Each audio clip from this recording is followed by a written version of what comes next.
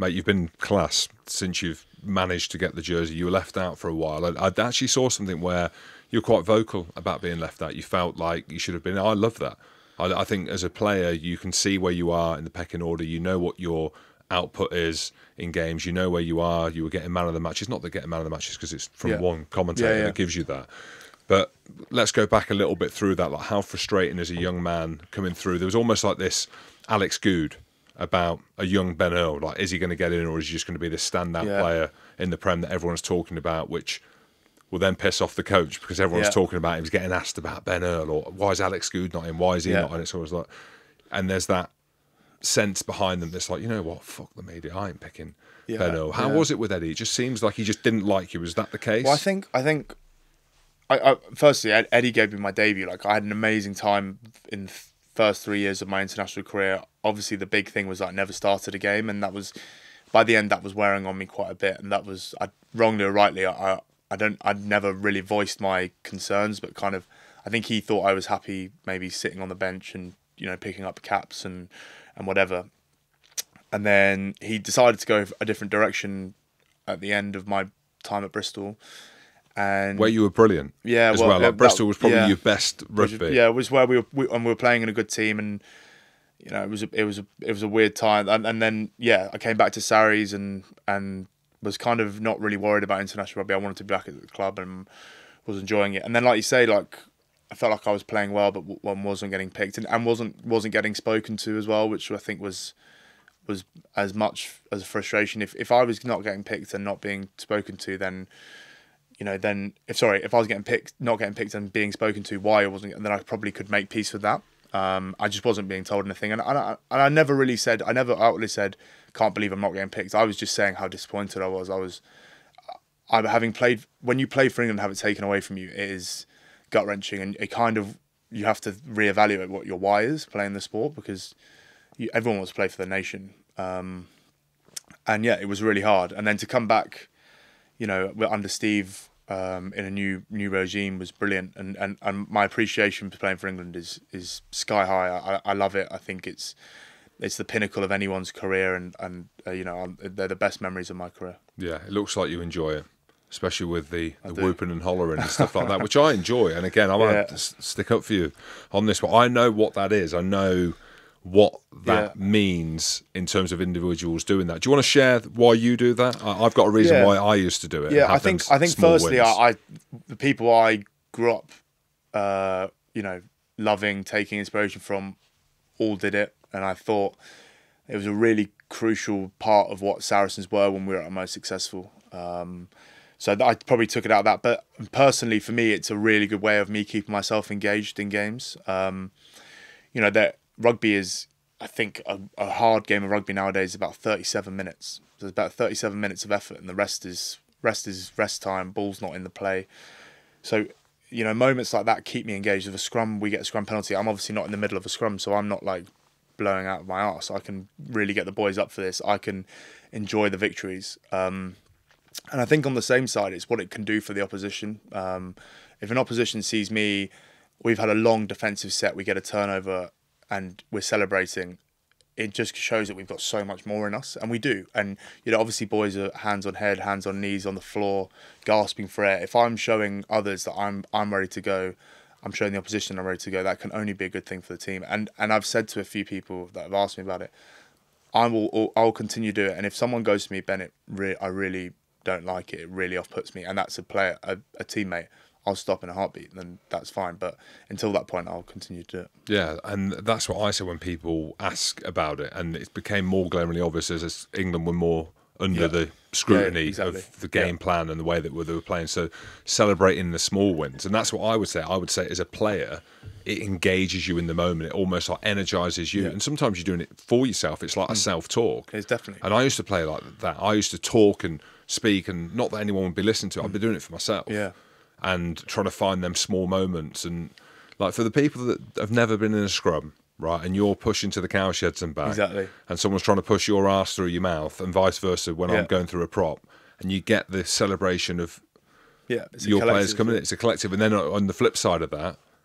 And you've just been hosing the scrum, and you hear everyone it's- jeering. it's like there's a big, heartbreaking, yeah. There's a psychological Well, a big, a big, a big problem for mine when I was younger, and we talk about growing up as a player, was like I would be very inconsistent in games. I'd have like an amazing five minutes, and then I wouldn't touch the ball for ten minutes, or I wouldn't make a tackle, or my body language would be poor. I just found it was a really good way.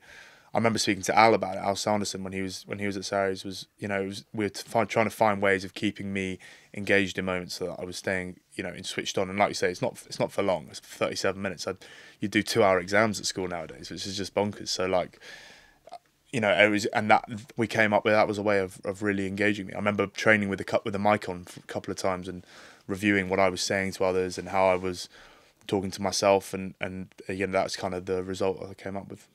Yeah, that's cool. So you're miking yourself up as I well. did when when Al was when Al was there. We used to mic myself up for training and and and like listen to what I was saying and um and obviously like that does make you more outgoing. It does make you want to say it, but then like I found that I'd get to end of sessions and be like, wow, I felt like I've I've fully engaged in every moment. Did I make the right decision every time? No, but was I engaged? Yes.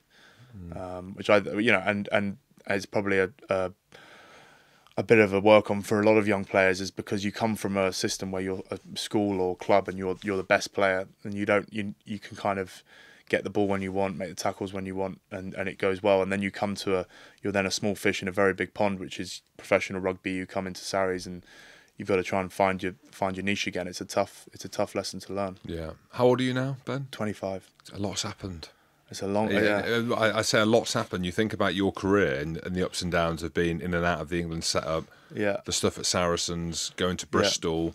How, how important do you think that Bristol time was to have a break from Saracens with everything that was was going in terms of growing up in a different environment, seeing the way they do things? I mean, it's it, it's an interesting story because I remember we were I'd just been picked. I just had my first selection for for England, and uh, we were in um, we were in Portugal in Browns, and we always used to go there. And, and Eddie took us all all the Sarries players into his his room or his meeting room, and we were all sitting in a, around a circle, and he's he was like pointing to all the boys, "You can stay, you can stay, you can stay." And then he came to me, and I was actually the last one.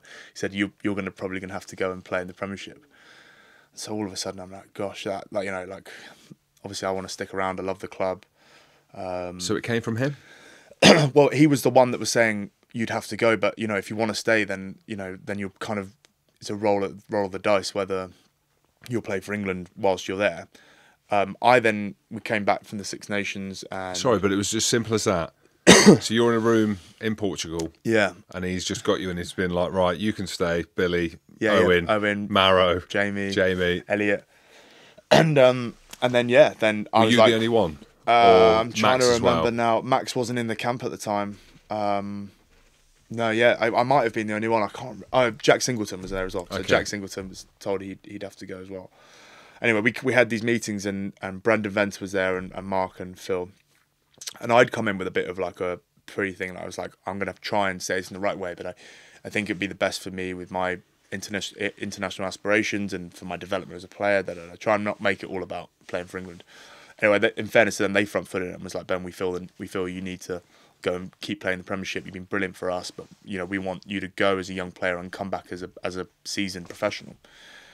And so it was then like, well, what club what club's going to work? And um, a lot of clubs obviously having the opportunity to have young players coming through that they were quite keen. Uh, It, the salary cap stuff, they were it was all going to go onto Saracen stuff, so it wasn't actually a burden for the club and there was a few clubs floated around and, and we ended up at Bristol and then Max ended up and, and we both went down in the middle of lockdown. That was a, that was our first time.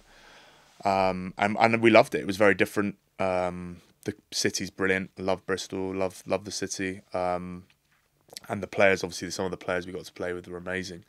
In terms of what it did for me, firstly, it gave me such clarity that I loved Sarries. I, I like I, that was the, Yeah. that was the club I wanted to be at. Now, obviously, Bristol was amazing. We had amazing memories. We had an amazing team. I I made some mates for life there, but it reaffirmed to me how much I loved being. That was like my club. Um, and actually, funny enough, my first game for Bristol was against Sarries, and my first game back at Sarries was against Bristol. So I've had it both ways. Um, and the second thing it did for me is that like it taught me how to keep backing up games. Like when I was playing at Sarries just before I left to Bristol, I was starting to get into the team, but like not regularly again.